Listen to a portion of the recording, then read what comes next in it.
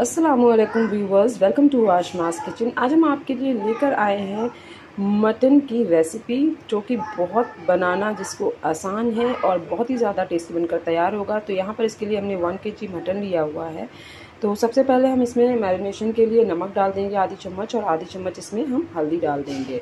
और इसको मैरिनेशन के लिए हम रख देंगे साइड में। और यहाँ पर हमने, देखिए, कुछ मसाले लिए हुए, जिसमें टमाटर है जायपत्री है हमारे पास लौंग है पाँच छः और दो चम्मच हमारे पास खड़ा धनिया है दस बारह काली मिर्ची है पाँच छः हमारे पास छोटी इलायची, एक चम्मच ज़ीरा, स्टार फूल है और दालचीनी दस बारह हमारे पास खड़ी मिर्ची है और दस बारह काजू और दस बारह बादाम। इन सभी मसालों को हम ड्राई रोस्ट कर लेंगे।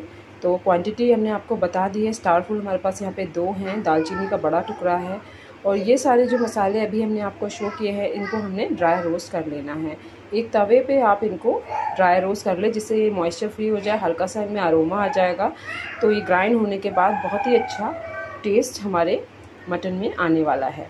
तो यहाँ पर हमने ली हुई है डेढ़ से दो चम्मच मिर्ची, कश्मीरी मिर्ची है आप अपने हिसाब से मिर्ची कम लें और दही लिया हुआ है। और इधर हमारे मसाले देखिए, भुन गए हैं। इनको हम निकाल लेंगे, ठंडा होने पर इनको जार में डालकर हम ग्राइंड कर देंगे। तो अब यहाँ पर इनका ऐसे फाइन पाउडर हमने बना लेना है, ये देखिए इस तरीके से। और मटन को हमने मैरिनेशन के लिए रखा था, अब हमने यहाँ पर इसको धो लिया है। और अब हमने इसमें डाल देना है जो मसाले हमने ग्राइंड किए थे वो। और इसमें तीन चम्मच हमने फ्रेश दही डालना है। और दही डालने के बाद हम इसमें मिर्ची डाल देंगे।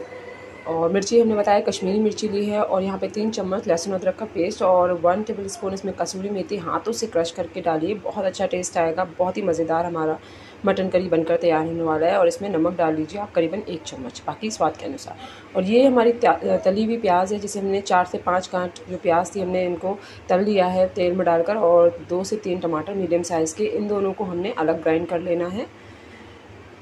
और ये देखें, इस तरीके से इसका हमने फ़ाइन पेस्ट बना लेना है। और ये पेस्ट हमारा तैयार है, प्याज और टमाटर का। इसको भी हमने इन्हीं में, मटन में जो हम मैरिनेशन के लिए रख रहे थे, इसी में डाल देना है और इसको मसालों को मिक्स कर लेना है। इसके बाद जो है, मटन करी बनाना बहुत ही ज़्यादा आसान हो जाएगा।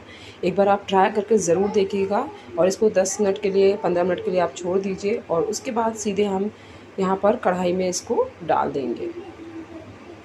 और थोड़ा सा पानी हम यहाँ पर एड ऑन कर देंगे इसमें, ताकि जो मसाले हमारे बर्तन में चिपके वो भी निकल जाएँ।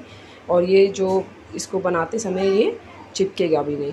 और ये वो हम यहाँ पर तेल यूज़ करेंगे जिसमें हमने प्याज को फ्राई किया था। तो दो से तीन टेबल स्पून यहाँ पे ऑयल है जो हम इसमें डाल देंगे। इसके साथ मटन को फ्राई करना, भूनना बहुत आसान होगा। क्योंकि मसाले चिपकते हैं और यहाँ पर हम इसको लगातार भूनते रह जाएँगे जब तक कि इससे ऑयल सेपरेट ना हो जाए और उसके बाद हम इसको लो टू मीडियम फ्लेम पर ढक देंगे।